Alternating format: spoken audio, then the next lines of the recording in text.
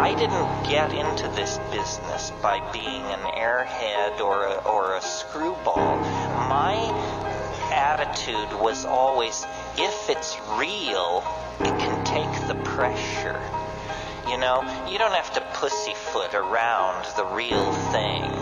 If they're telling you, you know, oh, you must lower your voice and avert your gaze or this and that, then you're probably in the presence of crap. Because the real thing is real. It doesn't demand that you you adjust your opinion to suit it. It's real. That means it is preeminent. That means it sets the agenda. And I studied yoga. I wandered around in the East. I was fast shuffled by beady-eyed little men in dhotis. I know the whole spiritual supermarket and rigmarole, and and I, I find nothing there to interest me on the level of know, five grams of psilocybin mushrooms in silent darkness. I mean, that's where the pedal meets the metal. That's where the rubber meets the road.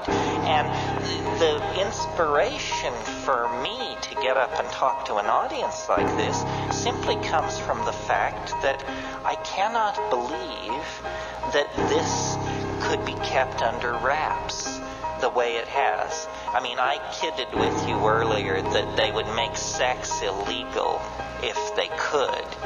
Well, they can't, so it isn't. But uh, the psychedelic experience is as central to understanding your humanness as having sex, or having a child, or having responsibilities, or, or having hopes and dreams, and yet it is illegal. We are somehow told we are infantilized. We're told, you know, you can wander around within the sanctioned playpen of ordinary consciousness, and we have some intoxicants over here if you want to mess yourself up. We've got some scotch here and some tobacco and red meat and sugar and a little TV and so forth and so on. Uh, but but these boundary dissolving uh, hallucinogens that give you a sense of unity with your fellow man and nature are somehow forbidden. This is an outrage. It's a sign of cultural immaturity, and the fact that we tolerate it is a sign that we are uh, living in a society as oppressed as any society in the past.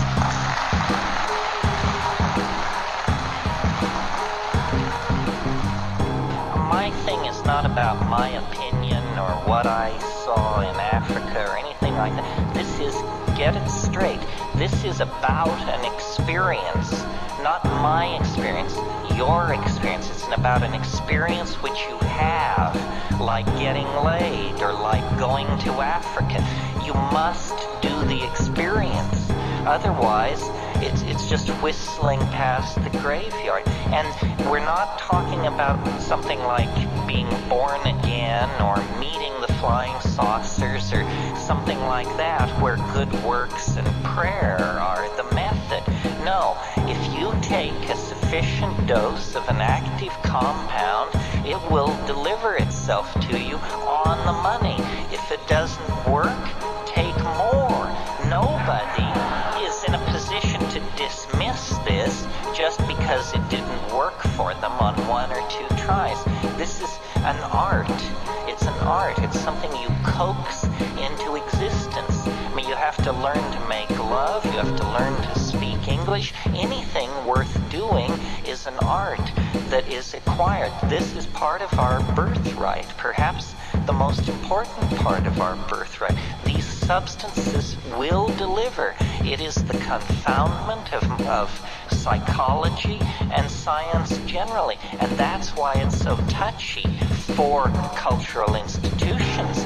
But you are not a cultural institution. You are a free and independent human being. And these things have your name written on them in big gold letters.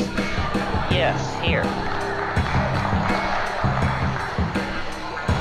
the way I think of these psychedelics, or a different way, is that they're catalysts for the imagination.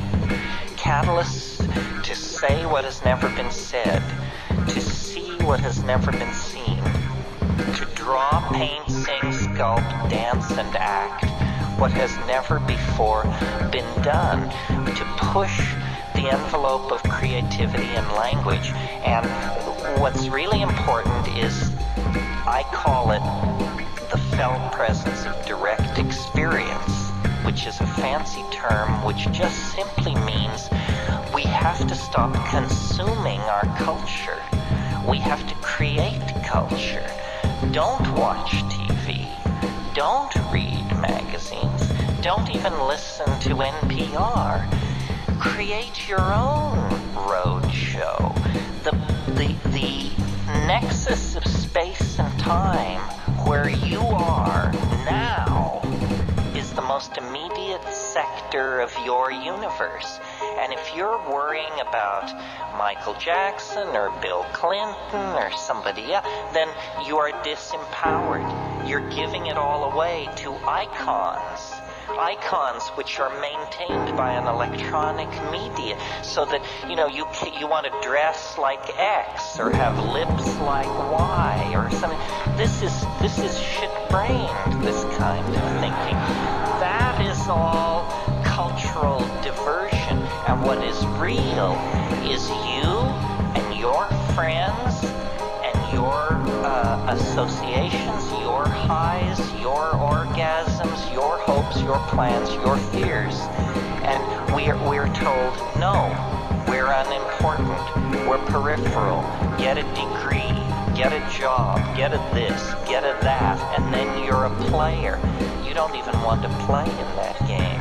You want to reclaim your mind and get it out of the hands of the cultural engineers who want to turn you into a half-baked moron consuming all this trash that's being manufactured out of the bones of a dying world. Where is that at?